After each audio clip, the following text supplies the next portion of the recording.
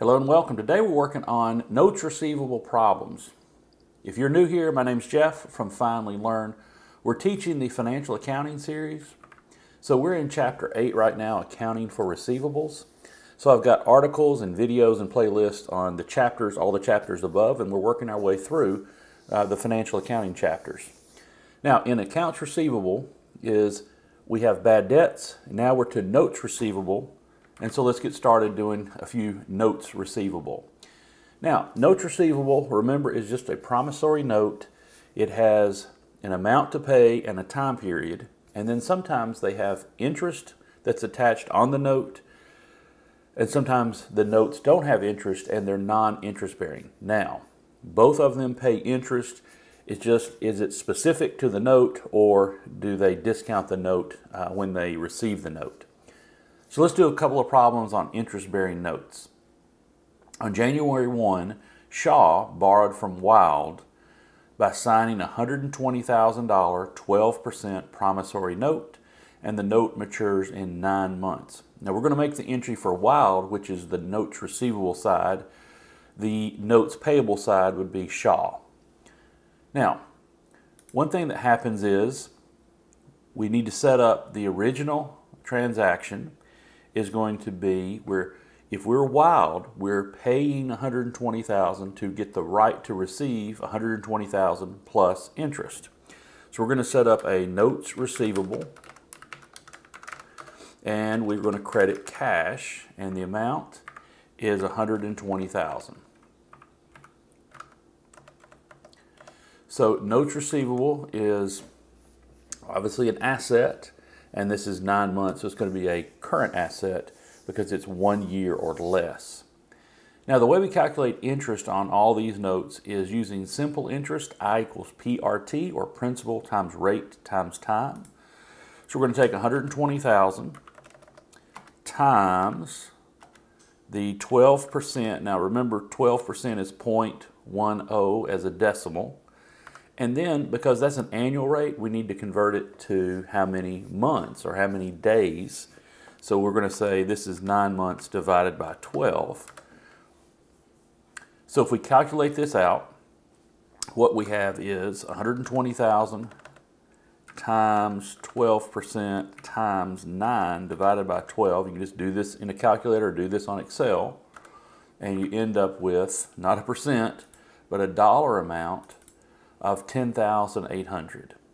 All right, so what do we do with that number? Well, that is how much interest this note will accrue. So nine months later, October 1st, we're going to receive, if we're the Wild Company, receive cash, and let's write off the notes receivable. We know that's 120,000 and we just calculated the interest to be 10,800 and that's going to be interest revenue.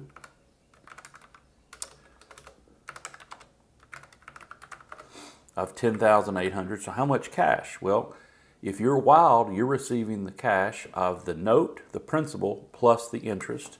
So the 10,000 plus the 120 so you're going to receive 130,800 Okay, let's do another one, just with different uh, numbers and dates here.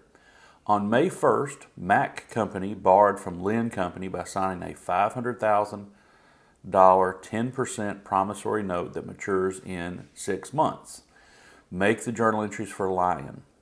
All right, so we're going to set up a notes receivable.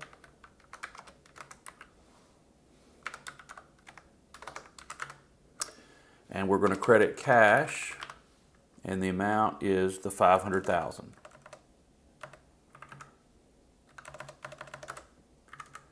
Now remember, we're simple interest, so we're going to take the uh, 500,000 times 10%.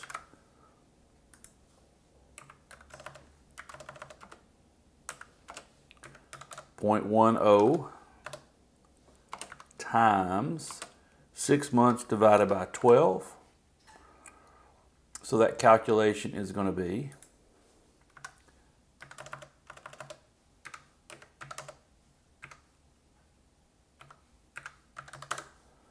looks like $25,000 is going to be the amount of interest. So we're going to set up cash. We'll set up interest revenue and then notes receivable. Our notes receivable we know is 500,000. Our interest we just calculated to be 25,000. So the amount that Lynn is going to receive is a total of the 25 interest plus the face amount of 500,000. So they're going to receive 525,000. So this is just simply a loan. You're trying to make a little interest. So you lend 500,000 and so you can uh, return back and receive 525,000. All right, what about a non-interest bearing note? Well, a non-interest bearing note still pays interest. It doesn't specifically have the note interest attached on the, the face of the note. It just says, we promise to pay, in this case, $400,000 in 12 months. Um, and so what happens is the company that receives it will discount it at some percent. All right, so the question is, it's a $400,000 non-interest bearing note. All right, so they're not going to give exactly 400,000 for this. So let's calculate the, the discount. So it's 400,000 times, they're using 8% times 12 months divided by 12 months. You don't have to do this step. 12 divided by 12, right? It's just going to be 400,000 times 8%. So that's $32,000 that they're going to get as interest. Because ACE received the $400,000 note and they discounted it 8%. All right, so what, what entry do we make as ACE? Well, we're going to set up a notes receivable. Now, they're going to receive the 400,000, but they're not going to pay the full 400,000 they're going to pay 400,000 minus the 32,000. So they're just going to say we're going to build in interest in the amount of 32,000. So they're going to pay cash of 368,000. They're going to receive 400,000 and the difference is interest.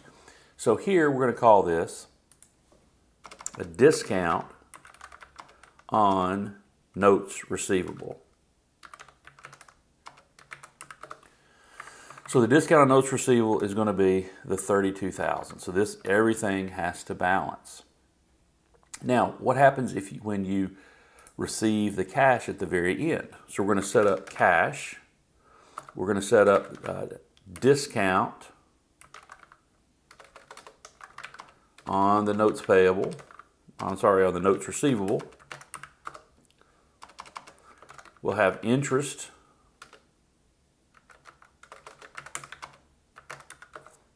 and we'll have the cash. Um, sorry, the um, this would be the write off the notes receivable. All right, so the notes receivable we know is 400,000. How much interest have we earned? Well, 32,000. The discount on notes receivable is 32,000. How much cash do we receive? We receive the uh, 400,000. All right, so discount on notes receivable, we set it up as a placeholder for interest revenue. So we haven't really charged interest yet, but after 12 months, we're going to recognize interest revenue. So for the purpose of ACE, ACE has paid 368 and received 400,000 total. So their interest they earned is the difference. You pay 368, you receive 400, you have earned interest of 32,000. So even if it's a non-interest bearing note, then the company that receives the note will discount it and there will be interest. Um, and so in this case, it's 8%. If they discounted it 9%, then they would charge you more interest. All right, so that's how you do notes receivable. Check out the playlist for this Chapter 8 Accounting for Receivables. So, hey, thanks for watching. We'll see you in the next video.